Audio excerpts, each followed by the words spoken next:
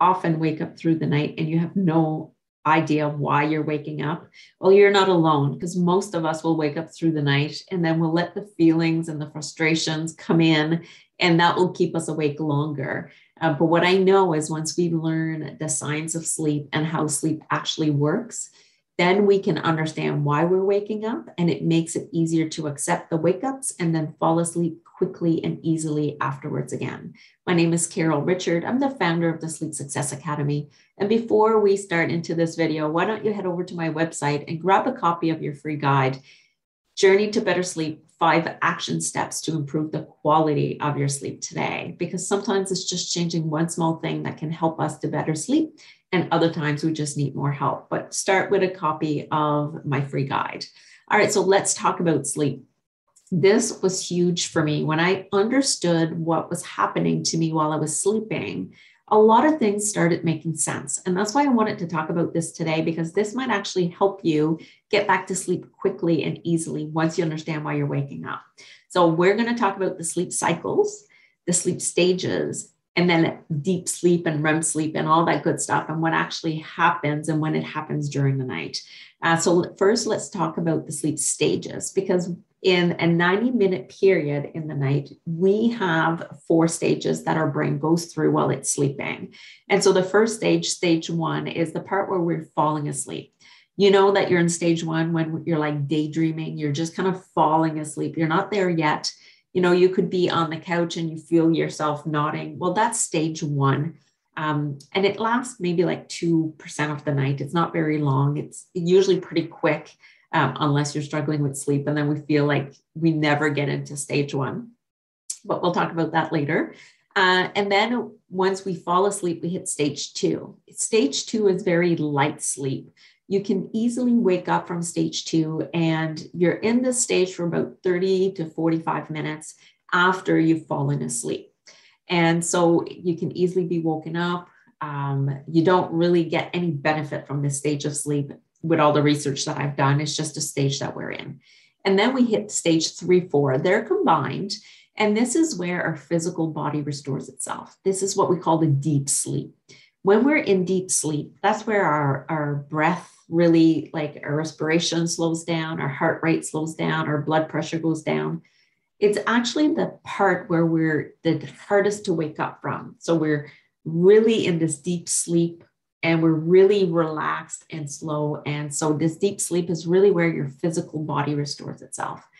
If you ever are woken up from a deep sleep, you'll feel groggy, you'll feel disoriented. Uh, you actually won't even know where you are. So if you ever had the alarm clock go off and all of a sudden you're like, like, what day is it? Like you're totally confused. That's because your alarm went off while you were in deep sleep. So once you're in deep sleep, then we go into REM sleep.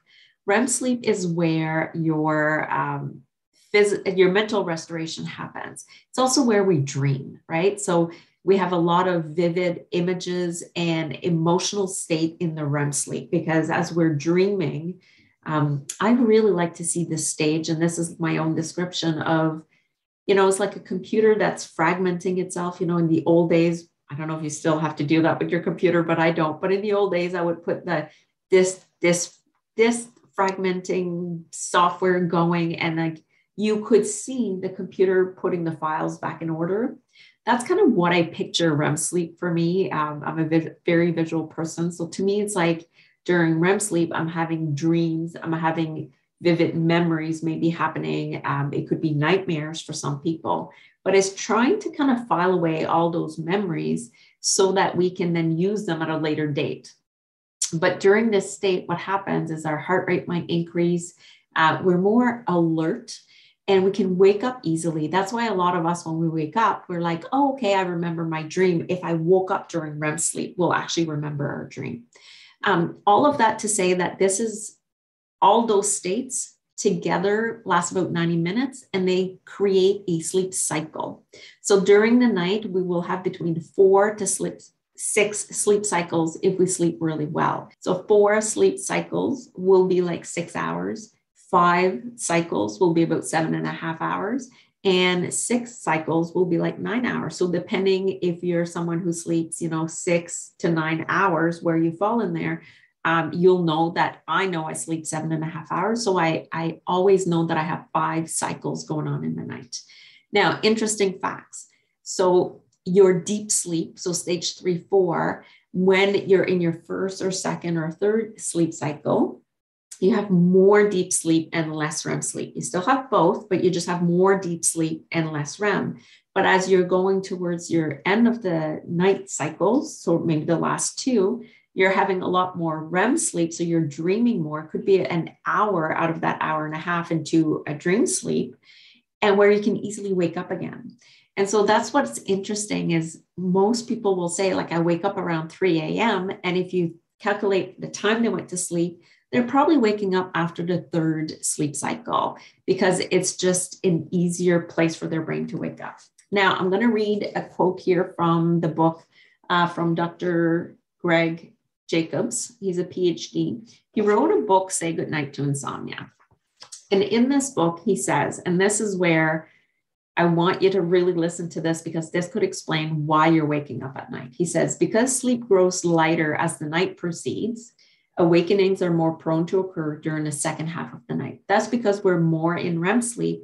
Our brain is easily more awake, and therefore we can wake up easily. And that's why sometimes you can be in your third sleep cycle, and that's when you wake up because your body is now used to waking up after that one. As an example, could be for some people.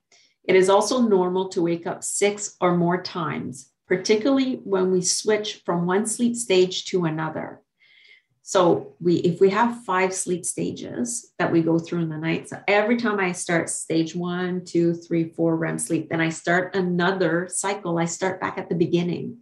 Stage one, two, stage one will be really small, maybe a second or two here. But during that time, if I had something that my mind was preoccupied with, I could wake up. And then he keeps saying, we, um, we normally fall back asleep within seconds after these awakening and don't recall the, them the following morning. So if you're saying, oh no, my husband, he falls asleep and he doesn't wake up at all, he does, but it's so small that, and his brain is not thinking that he just goes right back to sleep. That's my husband. Uh, for me, I'm usually good for the first three sleep cycles because I'm in deep sleep and I don't really notice waking up. If I'm going to wake up, it will be between like cycle three and four or between four and five. So, what do you do to help yourself get back to sleep quickly and easily knowing this information? Well, what changed for me is once I was awake, I was like, oh, it's just normal. It's part of what happens as I'm sleeping. And just because I'm awake for this second doesn't mean that I have to let my mind now jump in. And if my mind jumps in with all these thoughts and to do lists and everything else, then of course I'm not going to be able to fall back asleep. But accepting that it's normal to wake up through the night made it so much easier for me to go back to sleep. And once I explained this to some of my clients, they're like, oh, it's easier then and then the frustration doesn't kick in or the sadness that we're awake again and all alone through the night doesn't have a chance to kick in because we know different now. We know that this is the normal part of sleep.